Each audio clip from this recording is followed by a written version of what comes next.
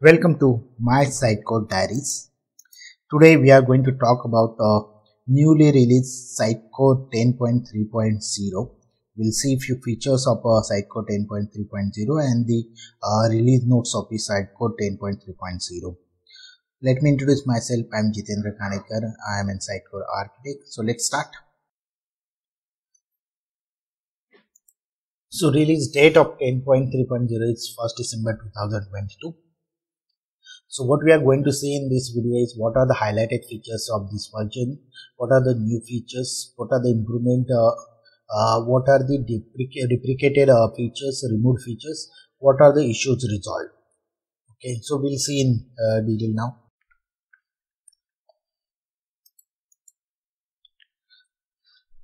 So let's see what are the highlights of 10.3.0. Uh, First thing is uh, there are new management and administration APIs and also webhooks are introduced in the uh, Sitecore 10.3.0.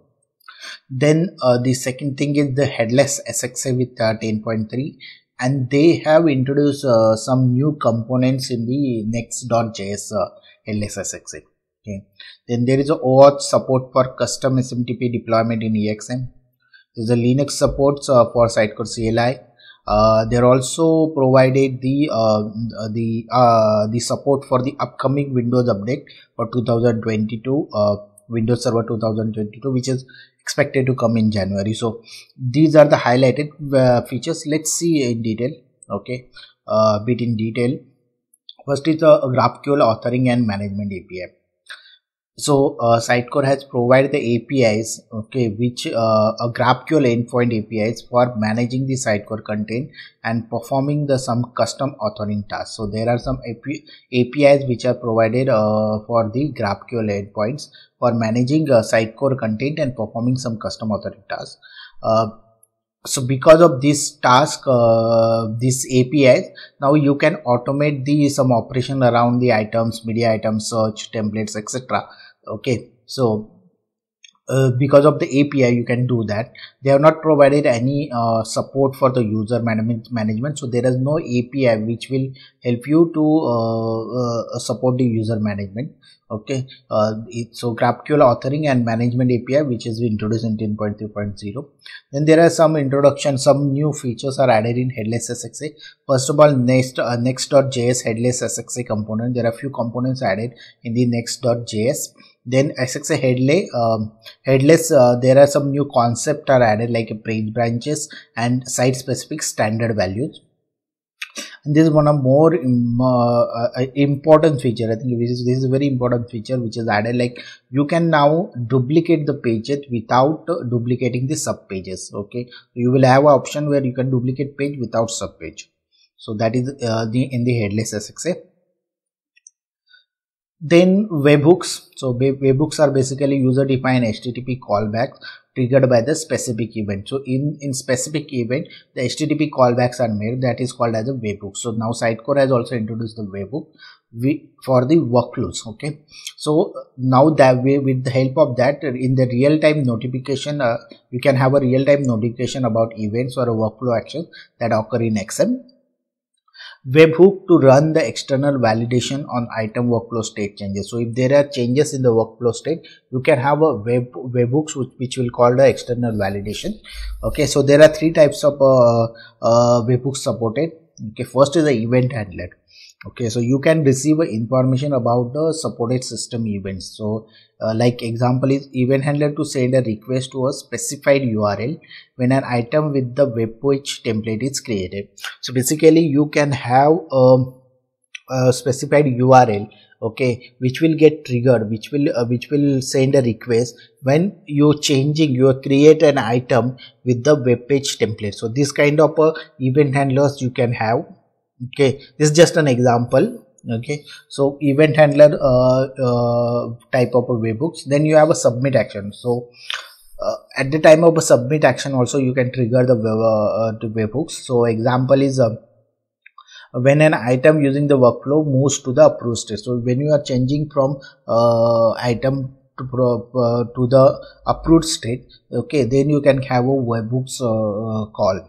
Okay then third option is a validation action. So you can have provide a third party service the ability to approve or reject the changes in the workflow state of an item by creating a webhook webhook for validation action. So you can now have a third party service okay? So you you you have a uh, you want to uh, you want some mechanism where third party can approve or reject the changes okay? Then you can have this kind of a webhook okay. So when when a webhook validation sends a request the third party service must return a response. So basically what is happening is uh, you will have a webhook which will call your third party. That third party will validate it and that will give you a response back and then the completion will be done. Okay. So this is very important. These webhooks are very important in the 10.3 for as a feature in the 10.3.0 then embedded form framework okay. Now sitecore has forms uh, sitecore has provided a form support for embedded forms. So now you can embed a sitecore forms within the application and that application can be anything even a non sitecore application. But for this we need sitecore 10.3.0 and later sitecore headless services 21.0.0 or later there are tools which is used in this. I think uh, we'll not go in detail but you just remember the name lit which is a lightweight library to quick start the development of a web component and tailwind css a css framework with a comprehensive set of highly reusable css class which is used within this embedded framework. Okay? Limitation is xdb ex uh, exclusive features are not available. So there are no xdb features are available. Okay? So you cannot uh, track the events. Okay xconnect. So there is a new tool introduced in the 10.3.0 okay which help you to uh, export the contacts xconnect contact into the files. And that files can be and stored anywhere with on the azure blob as well as the file storage. So this this is a new tool introduced in the xconnect uh, database encryption. This is a bit uh, uh, technical like you can have a transparent data encryption uh, okay on the uh, on on your database okay which will protect your critical data okay this use data at rest encryption. Then you have a sitecore cli so sitecore cli it is uh, uh, supports now linux based environment okay so this is support provided to the linux based environment then identity uh, uh, identify database. Okay this is another feature which is introduced uh, uh by uh, sitecore. Okay what happens is uh, this will this feature will help you to identify which database raised a publish end or publish end remote event. So from where the publish end remote event is triggered that is that can be identified by using this identify database feature. Okay these are the bit uh, uh, bit highlights of the uh, course whatever we are uh, we uh, we have explained we have seen till now.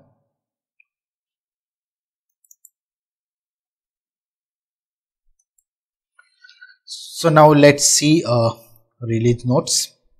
So this is the link for the release notes. I will give you that link in the description also so if you see the uh, release note of the Sitecore uh, 10.3 release, uh, we will not go in detail, but let's see few of them. Like containers, we have few uh, uh, few changes which is introduced, to few new features and improvement. Um, the one of the major uh, thing which you will see here the Solr container has been updated to version 8.11.11.2 so now the the Sitecore is supporting the site uh, Solr 8.11.2 so you will see here Sitecore GraphQL settings has been added to the parameters. Okay. Uh, you see our second one is like a low log level customization is now added for all Sitecore roles then email, email experience manager auth support has been added to EXM custom SMTP.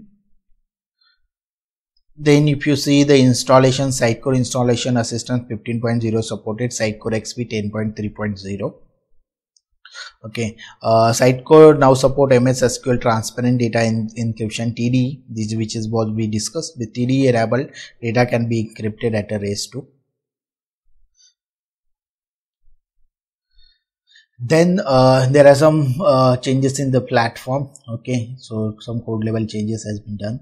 Um, the performance of the filter item cache has been improved in the plot uh, for jobs where the jobs.status.process property is not set the number of unit processed is no longer logged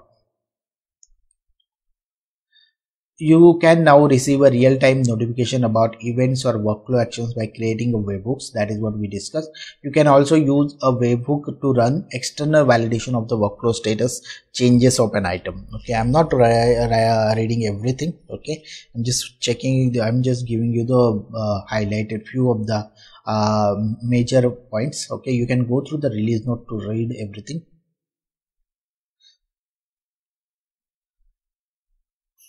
then what is what are the things which is uh, removed from the 10.3 uh, the first thing is the horizon uh, end of the support. So now horizon is removed. And then there are a few things which is removed from the libraries like uh, an unused microsoft identity model dot client dot active directory reference was removed.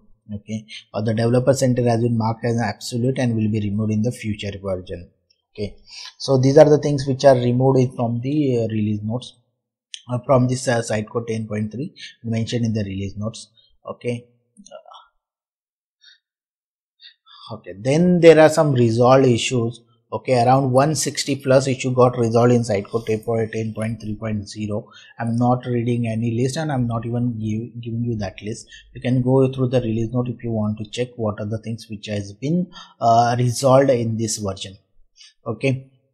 Then there is a specific uh, uh, known issues also given by every every version. So similarly we have a 10.3 uh, known issues. There are around 152 uh, no, no, known issues which you which you can read in this link. Uh, i will provide the link in the description. If you want to go through all those links you, all those uh, issues you can read that. Or if you face any problem then you can see if that, that is in the uh, known issues.